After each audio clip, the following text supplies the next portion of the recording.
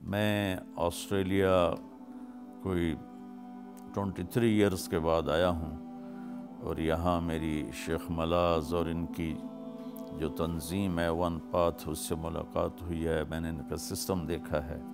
تو سب سے پہلے تو میں اس پہ بات کرنا چاہتا ہوں۔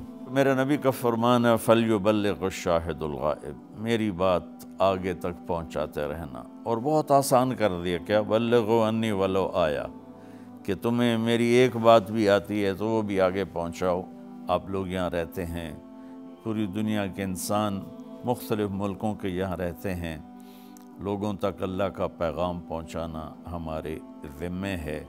اور یہ ون پاتھ کے جو دوست ہیں، میں یہاں ان کا سیٹ اپ دیکھا ہے۔ اللہ ان کو جزائے خیر عطا فرمائے۔ یہ پوری دنیا میں اللہ کا پیغام پہنچانے کی کوشش کر رہے ہیں۔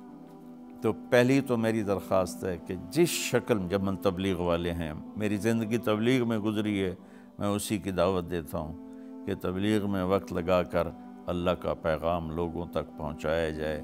اہل مدارس اللہ کا پیغام پہنچا رہے ہیں۔ اہل ذکر اللہ کا پیغام پہنچا رہے ہیں۔ اور اب نئی ٹیکنالوجی آ گئی ہے، ہر گھر میں اللہ کی بات پہنچے، تو اس کے لیے اللہ تعالیٰ نے ہمیں یہ ذرائع دیے ہیں جو اس کے علم سے ہی ہیں۔ اور میں نے ان کا سیٹ اپ دیکھا ہے، تو یہ کافی لمبا چوڑا مجھے خرچہ نظر آیا ہے۔ میری مالدار مسلمان بھائی بہنوں سے گزارش ہے کہ آپ ان کی ضرور مدد فرمائیں۔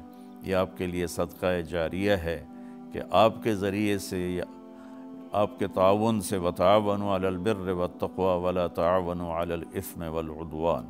کہ بھلائی پر ایک دوسرے کا تعاون کرو۔ برائی پر نہ کرو۔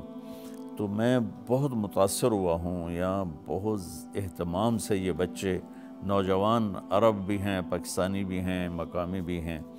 یہ بڑی محنت کے ساتھ اس چیز کو وجود لانے کی، وجود میں لانے کی کوشش کر رہے ہیں کہ اللہ کا پیغام ہر گھر تک پہنچے۔ تو میری پہلی، میں نے کبھی اپنی ذات کے لیے یا اپنے پاکستان میں مدارس ہیں، ان کے لیے اس طرح اپیل نہیں کی۔ لیکن میں آپ سب بھائی بہنوں سے اپیل کرتا ہوں کہ ان کی آپ مدد کریں، یہ تبرع ہے، یہ صدقہ جاریہ ہے اور یہ آپ کے اور ہمارے دنیا سے جانے کے بعد بھی اس کا اجر ہمیں ملتا رہے گا۔ تو امید ہے آپ میری اپیل پر غور فرمائیں گے۔ ہر ولو ولو آیا میں یہ ہے کہ جس طرح سے بھی کوئی اللہ کے دین کو زندہ کرنے کے لیے کوشش کر سکتا ہے، وہ کرے۔